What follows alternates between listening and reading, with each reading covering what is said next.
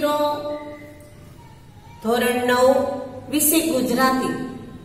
આજે આપણે દસમું પાઠ, દસમું ચેપ્ટર, ભારતીય સંસ્કૃતિની સિદ્ધિ એના વિશે અભ્યાસ કરવાના છે વિદ્યાર્થી મિત્રો, આ પાઠ ભારતની સંસ્કૃતિ કેવી સિદ્ધિ મેળવી છે અને પહેલા પણ કેવી હતી તેના વિશે વાત કરી એક નિબંધ તરીકે પણ જાણીતો છે. ભારતીય સંસ્કૃતિની સિદ્ધિ નિબંધ તરીકે પણ પૂછાય છે.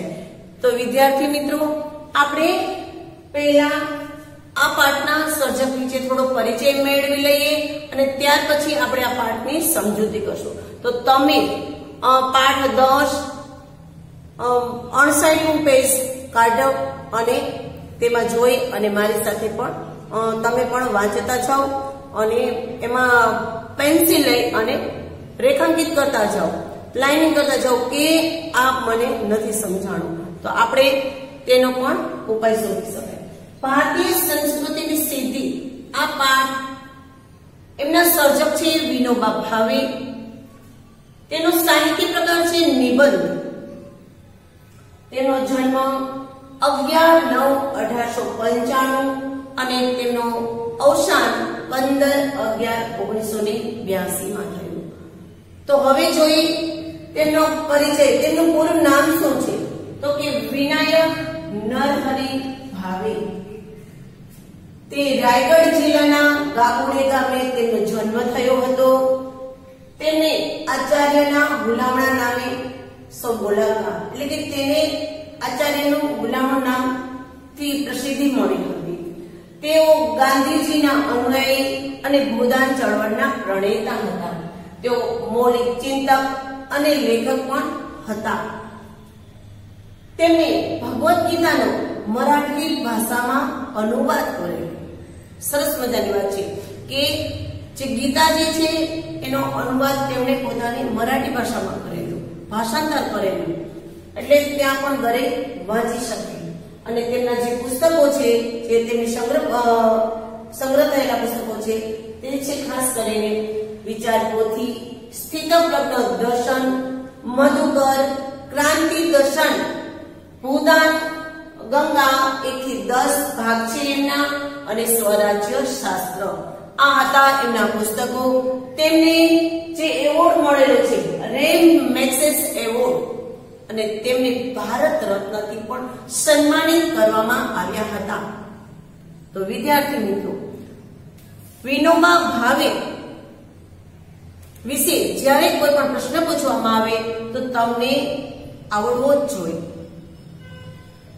આવા જે મહાન વ્યક્તિ આપણા દેશમાં છે, તો તેના વિશે આપણે જાણકારી મેળવવી જ જોઈએ. આમાંથી એક એક પ્રશ્નમાં લેખક પરિચયમાંથી પણ પૂછવામાં આવે છે, સાહિત્ય પ્રકાર પૂછવામાં આવે, તો આવા પ્રશ્નો પણ તમારે તૈયાર કરવાના રહેશે. કે તેનો જન્મ ક્યાં થયો હતો તે કયા નામથી પ્રસિદ્ધિ તેમને મળેલી હતી? તો આજે આપણે વિનોબા ભાવેની થોડીક હજી વાત કરીએ કે તેઓ આચાર્યના હુલામણા નામે જાણીતા હતા, પ્રસિદ્ધિ પ્રસિદ્ધ થયા હતા અને ભારતીય, એટલે કે ભારતના રાષ્ટ્રીય અધ્યાપક અને મહાત્મા ગાંધીના આધ્યાત્મિક ઉત્તરાધિકારી માનવામાં આવે છે તેમને. એમણે પોતાના જીવનમાં જે આખરી વર્ષો છે, તે પુનાર એટલે કે મહારાષ્ટ્ર ખાતેના આશ્રમમાં વિતાવ્યા હતા, એટલે કે ગુજાર્યા હતા. વિનોબા નામ ગાંધીજીએ પાડ્યું હતું. આ નામ ગાંધીજીએ આપ્યું છે કારણ કે મહારાષ્ટ્રમાં નામની પાછળ બા લગાડવાનું ચલણ છે. એટલે કે બા લગાડવામાં આવે છે. દાખલા તરીકે તુકોબા વિઠોબા, વિનોબા, આવા નામ નામની પાછળ આવી રીતે બા લગાડવામાં આવે છે. એટલા માટે ગાંધીજીએ પણ વિનોબા ભાવેના વિનોબા આવું નામ, વિનાયક નામ હતું એમાંથી વિનોબા કરી નાખેલું. વિનોબા છે તે પિતા સાથે વડોદરાની કોઠી કચેરી પાસેની જે કાપડીની પોળ છે તેમાં રહીને તેઓ અભ્યાસ કરતા. ત્યાર પછી તેઓ કાશીએ જતા રહ્યા હતા અને ત્યારબાદ તેમને ગાંધીજીની સાથે જે આઝાદીની ચળવળ છે. તેમાં જોડાયા અને અમદાવાદ સાથેના આશ્રમમાં તેઓ રહ્યા. ભારત માટે એવું કહેવાય છે કે આ એક મોટો સંપન્ન દેશ છે. અહીં સુંદર સુંદર સેંકડો નદીઓ વહે છે. અહીં હિમાલય જેવો અદ્ભુત પહાડ છે. આપણો દેશ ભારે સુજલ અને સુફળ છે.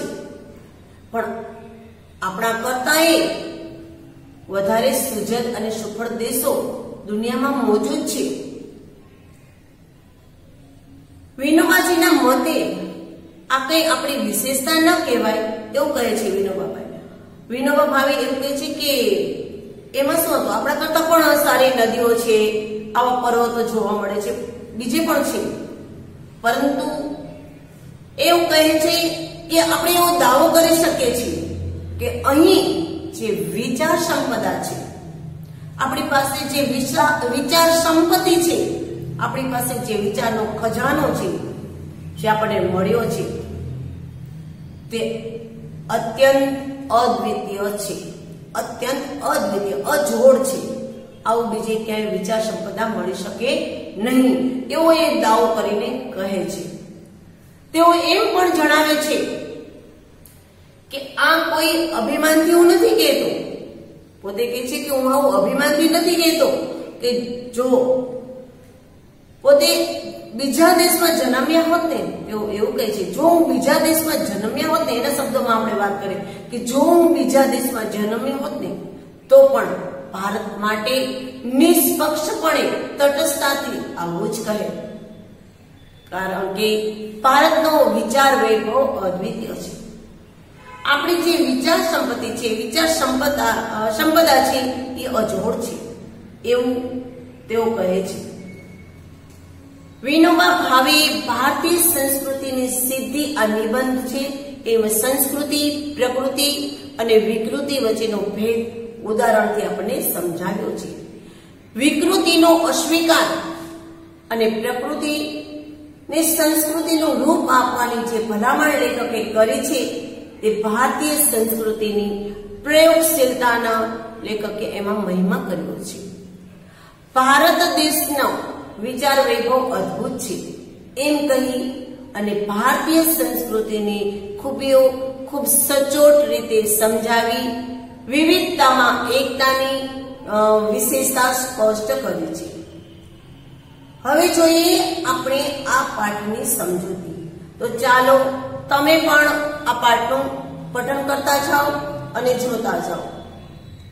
પ્રકૃતિ એટલે સહજ સ્વભાવ. સહજ સ્વભાવ નોર્મલ, પ્રકૃતિ એને કહેવાય. સંસ્કૃતિ એટલે સહજ સ્વભાવ ઉપર ઉઠવું. એટલે સંસ્કૃતિ કોને કહે? તો કે જે આપણી પ્રકૃતિ છે, એનાથી પણ થોડા વધારે હોય, તો એને સંસ્કૃતિ કહેવાય. પછી વિકૃતિ એટલે કે સહજ સ્વભાવથી નીચે પડવું. એટલે કે પ્રકૃતિ વચ્ચે છે, નોર્મલ છીએ આપણે એટલે કે સહજ છીએ આવી વાત કરે છે. પ્રકૃતિ કરતા પણ નીચે જાઓ તો એને વિકૃતિ કહેવામાં આવે છે. પ્રકૃતિ કરતા ઉપર જાઓ, તો એને સંસ્કૃતિ કહેવામાં આવે છે. તો વિદ્યાર્થી મિત્રો, પ્રકૃતિ તો આપણે સહજ રીતે જે કાર્ય રોજ કરીએ છીએ તેને પ્રકૃતિ કહેવામાં આવે છે. અહીંયા એક સરસ મજાનું એમને ઉદાહરણ પણ આપેલું છે. માણસની પ્રકૃતિ હોય છે. કે સંસ્કૃતિ અને એક વિકૃતિ. તો કે ભૂખ લાગે છે અને ભૂખ લાગતા લાગતા માણસ ખાય છે. આપણે જે ભૂખ લાગે ને તે ખાય છે, તે આપણી પ્રકૃતિ છે. કેમ? આપણે સ્કૂલે જાય એટલે આપણને ખબર જ છે કે ભૂખ લાગે એટલે આપણે તે તરત જમી લઈએ છીએ. તો એ આપણી પ્રકૃતિ છે. રોજનો નિયમ થઈ ગયો છે કે આપણે હવે જમી લેવું જોઈએ. પણ ભૂખ ન લાગે, છતાં માણસ ખાય. આ એ એની વિકૃતિ છે. ભૂખ ન લાગી હોય તો છતાં પડ્યું છે તો લાવો, ખાઈ લો. તો એ એની વિકૃતિ છે. ને ભૂખ લાગવા છતાં આજે એકાદશી છે. આ એકાદશી એટલે કે ભારત પરંપરા પ્રમાણે શુક્લ પક્ષ અને કૃષ્ણ પક્ષમાં એક અગિયારસ આવે છે. એને એકાદશી કહેવામાં આવે છે. તો કે એકાદશી છે એટલા વાસ્તે ભગવત સ્મરણ માટે માણસ ખાતો નથી, તે તેની સંસ્કૃતિ છે. કેવું સરસ મજાનું કીધું છે. જે ખાઈ લે છે, નિયમ પ્રમાણે કે ચાલો ભૂખ લાગી છે ને ખાઈ લે છે, તે પ્રકૃતિ છે. સમજી લેજો વિદ્યાર્થી મિત્રો. તે પ્રકૃતિ છે. પણ ભૂખ નથી લાગી, છતાં પણ સામે પડ્યું છે ને જખાઈ ખાઈ લઈએ છીએ. તે આપણી વિકૃતિ છે. અને ભૂખ લાગવા છતાં પણ આજે એકાદશી છે, અગિયારસ છે. માટે ભગવાનનું સ્મરણ કરવા માટે, ભગવાનના સ્મરણ એટલે કે ભગવાનનું નામ લેવા માટે, ભગવાનની પૂજા અર્ચન માટે કે ભગવાન માટે આપણે જે માણસ ખાતો નથી, તે દિવસે ઉપવાસ કરે છે. તે તેની સંસ્કૃતિ છે. આમ ઉપવાસ કરવો એ સંસ્કૃતિ છે. આપણે મહેનત કરીને ખાઈએ છીએ તે આપણી પ્રકૃતિ છે. દરેક મહેનત કરીને ખાય, દરેક મહેનત કરે છે તો જ એમનું ગુજરાન ચાલે છે. આ એમની પ્રકૃતિ છે. દરેક માણસમાં પ્રકૃતિ તો હોય જ છે, જોઈ લો તમે. મારામાં, તમારામાં કે સમાજમાં દરેક વ્યક્તિમાં પ્રકૃતિ તો નોર્મલ, સહજ સ્વભાવ છે. બધામાં હોય જ છે. પણ આપણે જાતે મહેનત કરવાનું ટાળીશું અને બીજાની મહેનત લૂંટીને ભોગ ભોગવતા રહેશું. તો તે આપણી વિકૃતિ છે. બીજાએ મહેનત કરેલી છે ને આપણે ખાઈ લેશું બીજાએ મહેનત કરેલી છે ને આપણે ઝૂંટવી લેશું તે આપણી વિકૃતિ છે. આ વસ્તુ ભલે મોટા ભાગના માણસોમાં દેખાતી હોય. તેમ છતાં, માણસની પ્રકૃતિ તો નથી. આપણે કહીએ છીએ કે જે બધામાં હોય છે એ પ્રકૃતિ સહજ સ્વભાવ હોય છે, પ્રકૃતિ કહેવાય. પણ આ જે વિકૃતિ છે બીજાએ કામ કરેલું હોય અને આપણે તે જૂટવી લઈએ. આપણે તે લઈ લઈએ, તેનું ફળ આપણે પ્રાપ્ત કરી લઈએ. તે ખરેખર વિકૃતિ છે. તેને પ્રકૃતિ તો ન જ કહી શકાય. પણ આ વિકૃતિ છે એ પ્રાચીન કાળથી આજ સુધી દેખાતી હોય તેમ છતાં પણ તે કદાપી સંસ્કૃતિ હોઈ શકે નહીં. પ્રાચીન કાળથી આવું તો ચાલ્યા જ કરે છે. ઘણા લોકો એવા હોય છે કે બીજાનું હોય છે તે પોતે લઈ લે છે. પરંતુ આપણે એને સંસ્કૃતિ ન કહી શકીએ. આપણા શ્રમથી પેદા થયેલી ચીજ પણ બીજાને આપ્યા વિના ભોગવ્યા ભોગવવી નહીં. એટલે કે આપણે તેનો ઉપયોગ કરવો નહીં. આપણે જે શ્રમ કરેલું હોય, આપણે મહેનત કરેલી હોય પણ એમાંથી પણ બીજાને થોડુંક આપવું જોઈએ. જો એમને ખાઈએ, તો પણ તે કહી શકાય નહીં આ સંસ્કૃતિ છે. તો માણસની સંસ્કૃતિ ક્યારે કહેવાય? તો કે એ સંસ્કૃતિ આપણા પાસે પણ છે અને આપણામાંથી એ જે બીજાને આપીએ છીએ ત્યારે આપણે સંસ્કૃતિ કહી શકીએ છીએ. માણસમાં અને પશુમાં તો શું ફરક પડે જો એવું ન કરીએ તો? એટલે કે છે કે એ બેમાં જો અંતર છે માણસમાં અને પશુમાં જે અંતર છે, એ વધારવું જોઈએ એને ઘટાડવું ન જોઈએ પશુપણામાંથી નીકળતા જઈને માણસપણા તરફ આગળ વધતા જવું, તે જ સંસ્કૃતિ વર્ધન છે. પશુપણામાંથી. એટલે કે આ પશુતામાંથી આપણે આગળ વધીએ. એમાંથી જે આગળ નીકળવાનો પ્રયાસ કરે છે, માણસ પણા તરફ જવાનો પ્રયાસ કરે છે એને સંસ્કૃતિ વર્ધન કહે છે. એટલે કે સંસ્કૃતિ વધારનારી કહે છે. એટલે કે વધારે સંસ્કાર પામેલું કહેવામાં આવે છે. માણસ સુખ અને આનંદ શોધે છે. સુખ સૌને આનંદ આપી શકે છે. એ પણ આપણને ખબર જ છે. આપી શકે તેવું પણ હોય. સુખ સૌને આનંદ આપી શકે તેવું પણ હોય છે. એ ખરું છે. પણ એને એ સંસ્કૃત છે, એનો ખ્યાલ રાખવો પડે છે. આનંદ છે, એ સંસ્કૃતિ છે. તો એનો ખ્યાલ આપણે રાખવો પડે છે. શું કામ તો કે સુખ સૌને આનંદ આપી શકે તેવું હોય, પણ એ સુખ સુસંસ્કૃત ક્યારે બને? જ્યારે તે બીજાને આપણે આનંદ આપી શકીએ. એ આનંદ આપણને સંસ્કૃતિ તરફ લઈ જતો હોય. એ જ સાચો આનંદ. જે આનંદ, જે સુખ છે, એ આનંદ આપણને ત્યારે જ મળશે કે જે આનંદ બીજાને આપણે આપી શકીએ છીએ. સુખ આપણે બીજાને આપી શકીએ છીએ. ત્યારે જ એ આપણો સાચો આનંદ કહેવાય છે. સંસ્કૃતિ ક્યારેય ખરાબ નથી હોતી. સંસ્કૃતિ ક્યારે ખરાબ ન હોય. જે આનંદ આપણને સંસ્કૃતિ એટલે કે વિકૃતિ ખરાબ હોય છે, સંસ્કૃતિ ખરાબ નથી હોતી. પ્રકૃતિને આપણે ખરાબી ના કહી શકીએ અને સારી પણ નથી તે પણ એટલે કે તે ન ખરાબ હોય, ન સારી. જે જેવી છે તેવી જ છે. કાગડો કાળો છે ઉદાહરણ આપણે આપે છે કે કાગડો કાળો છે. તેને આપણે ખરાબ ન કહી શકીએ. કાળો છે એટલા માટે ખરાબ ન કહી શકીએ. શું કામ નહીં? તો કે એ એની પ્રકૃતિ છે. અને બગલો સફેદ છે. તો એ એની પ્રકૃતિ છે. તો એને સારો ન કહી શકાય. કારણ કે તમને ખબર છે ને, પગલો શું કરે છે. તો એ એની પ્રકૃતિ છે. એટલે એને પણ સારું ન કહી શકાય કેમ કે સૌ સૌની પ્રકૃતિ ઉપર સૌ અવકાર્ય કરતા હોય છે. કેમ કે એની પ્રકૃતિ છે, તો પ્રકૃતિથી છે ઉપર ઉઠીને આગળ વધે અને આગળ વધવું જોઈએ, એ જ આપણી સંસ્કૃતિ છે. પ્રકૃતિથી આગળ વધવું જોઈએ. આપણે પેલી લેડીમાં જોયું કે પેલી જ લાઈનમાં જોયું કે પ્રકૃતિ છે વચ્ચે છે. જો એનાથી નીચે જાય તો વિકૃતિ માનસ આવે છે અને તેનાથી ઉપર જાય તો આપણને એક સંસ્કૃતિનું માનસ એટલે કે સંસ્કૃતિ છે. ઘણીવાર આપણે વિકૃતિને સંસ્કૃતિ માની લેવાની ભૂલ કરી બેસીએ છીએ. એટલે આ બાબતમાં સાવધ રહેવાની જરૂર છે. આજે પશ્ચિમના લોકો એટલે કે પરદેશના બીજા લોકો વિજ્ઞાનમાં ઘણા બધા આગળ વધ્યા છે. વિજ્ઞાનની જે ટેકનોલોજી છે એમાં ઘણા બધા આગળ વધ્યા છે. એમની પાસેથી આપણે લેવા લાયક ઘણું જ છે. પરંતુ એમનામાં ઘણો વિકૃતિનો અંશ પડ્યો છે. એમને સંસ્કૃતિ લેવાની ભૂલ આપણે ન કરી. વિજ્ઞાન, ટેકનોલોજી આપણે ખબર જ છે ને આપણે જોઈએ છીએ કે વિજ્ઞાનથી લાભ પણ થાય છે અને ગેરલાભ પણ થાય છે. તો આવો છે પરદેશમાં ઘણા બધા ટેકનોલોજીના પ્રયોગો થાય છે.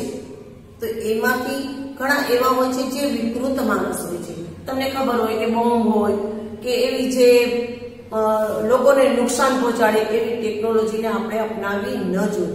જે લોકોનો વિકાસ થાય છે એવી ટેકનોલોજી જેને કંઈક શીખવા મળે છે, એવી ટેકનોલોજી આપણે સ્વીકાર કરવો જોઈએ. બાકી તો એ વિકૃતિ કહેવાય કે એને આપણે સંસ્કૃતિ ન માની લઈએ. કારણ કે આ એક વિકૃતિ જ છે આપણે એને અપનાવી જોઈએ નહીં. તે સિવાય દુનિયાભરની જેટલી સંસ્કૃતિ છે, તે આપણે અપનાવી લેવાની છે. સારી સંસ્કૃતિ ઘણી બધી છે દુનિયામાં. કોઈનું સારું કાર્ય જોઈને તે આપણે અપનાવવું જોઈએ, એ આપણી સંસ્કૃતિ છે. આને સાથોસાથ એ પણ ધ્યાનમાં રાખે કે દુનિયાભરની સંસ્કૃતિ લઈએ, પણ ત્યાંની ત્યાં ભલે હોય, પણ વિકૃતિ ત્યાંની ભલે ખૂબ સારી વિકૃતિ, પણ વિકૃતિ આપણને ન ખપે. સંસ્કૃતિ જ આપણે લેવા નથી વિકૃતિ આપણને ન ખપે એટલે આપણને ન જોઈએ કારણ કે એ આપણા માટે બિન ઉપયોગી છે. એટલા માટે આપણે ન જોઈએ ત્યાં પ્રાચીન કાળથી કોઈ એક ચીજ ચાલી ચાલી હતી. કોઈ એક એવું હોય કે, એવું કેવું હોય કે પ્રાચીન કાળથી ચાલ્યા હતી. પણ તો જે વિકૃતિ હોય, તો તેનો સ્વીકાર હરગીજ ન કરવો જોઈએ. તે આપણે લેવો જોઈએ નહીં. તેનો સ્વીકાર આપણે કદાપી ન કરાય, ક્યારેય ન કરાય. ભલે પ્રાચીન કાળથી આવો કે ઘણી વખત એવું થતું હોય કે વારસાગત ઓલા આમ કરતા હતા તો હવે આપણે કરવું જોઈએ. એમ નથી. તેમાં સુધારો લાવવો જોઈએ. કારણ કે તો જ આપણે સંસ્કૃતિ તરફ આગળ વધ્યા છીએ તેમ કહેવાય. વિકૃતિ બીજાઓની હોય કે આપણી હોય?